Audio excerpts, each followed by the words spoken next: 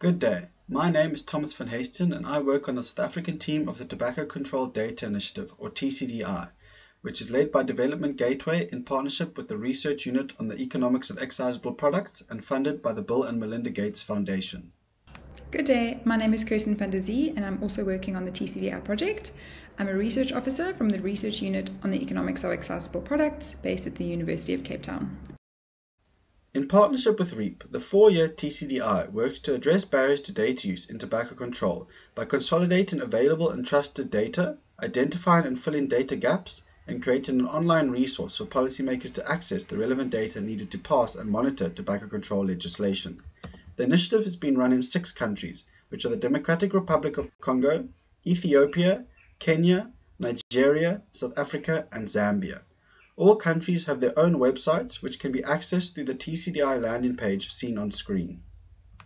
The South African TCDI website provides an interactive portal that collects, analyzes, and presents data and information on tobacco control in South Africa through rigorous research.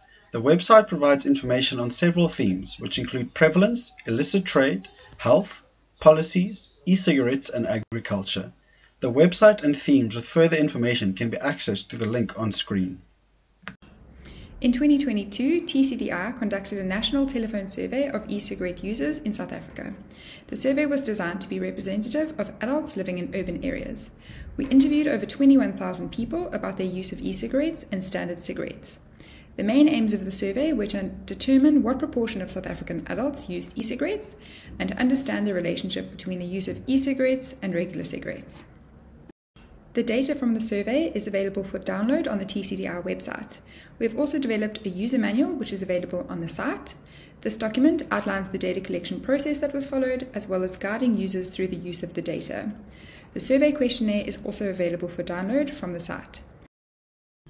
Some of the key findings from the survey are shown on the South African TCDI website's e-cigarette page.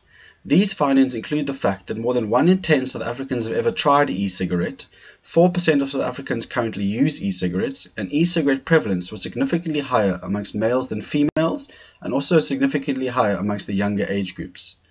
Besides the e-cigarette survey, another crucial fact shown on this page is that the South African Treasury will introduce an excise tax on e-cigarettes of R2.90 per milliliter from June 2023.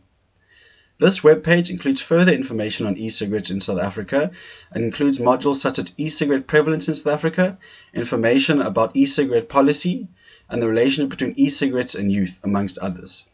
The webpage with further information can be accessed via the link on screen.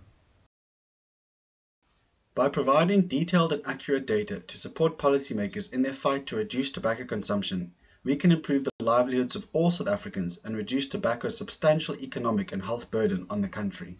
Thank you very much.